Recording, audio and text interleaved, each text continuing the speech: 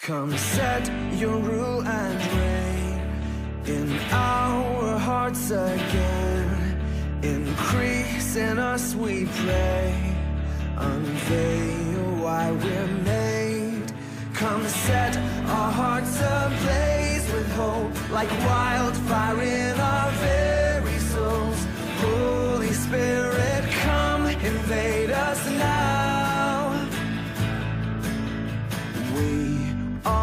your church. We need your power in us.